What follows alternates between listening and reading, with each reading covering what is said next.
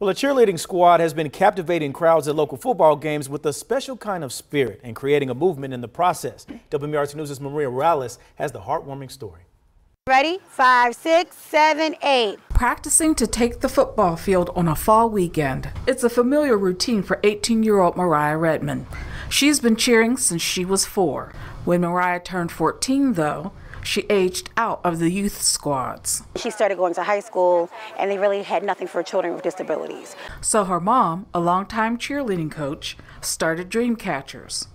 They're part of the Middle River Recreation Council's youth football team, the Renegades.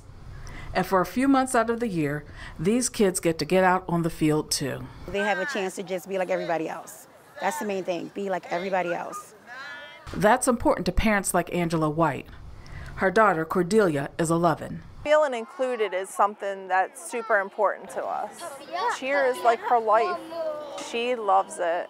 She cheers when from the time she wakes up till the time she goes to bed. When the Dreamcatchers started three years ago, they were the only squad of its kind. Now there are other teams in the area, in Perry Hall and Bel Air. They take part in friendly competitions.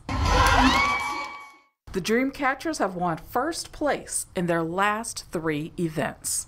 You hear the entire gymnasium go crazy for the Dreamcatchers. It gives you chills, and then when they get done at the end and they blow their kiss. Little kiss. Mwah.